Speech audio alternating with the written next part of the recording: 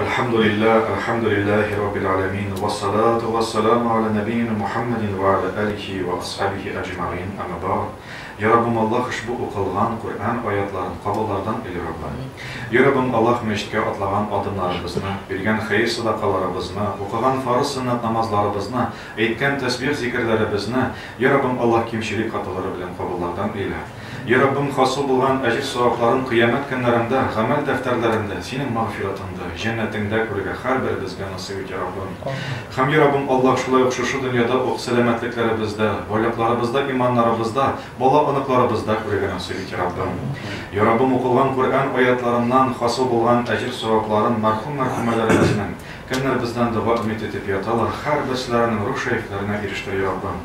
Я Раббым аларның каберләрен нурлы бит, хисапларын җиңел ит, синең мәгъфиратыңа ирешеп, аларга иң улы җәннәтләренә, фирдәү җәннәтләренә насыйп ит, Я Раббым. Я Раббым Аллаһ безгә исәннәргә, һәр беребезгә Коръәни Кәрим буенча яшәргә насыйп ит, Я Раббым.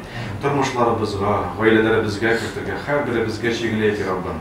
Я Раббым Аллаһ без һәр беребез синнән сөйлибез җәннәтне, Я Раббым. Җәннәт юлларын һәр беребезгә күрсәтүеңне Һәр беребезне, туганнарыбызны, вафат булган әтиәниләребезне, әби бабайларыбызны, җәһәннәм утларыннан һәр беребезне саклай, Раббым.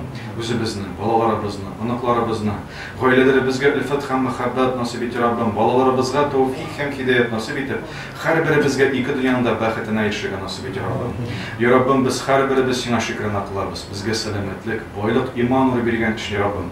Һәр беребезне фәкыйрьлектән, я Раббым, Аллаһ, көфрлектән, шириктән, я Раббым, Аллаһ саклап, خير بلا بزغا إكدن يندا ومشنا يرشق نصيب إله اللهم ربنا آتنا في الدنيا حسنة وفي الآخرة حسنة وقنا عذاب النار برحمتك يا أرحم الراحمين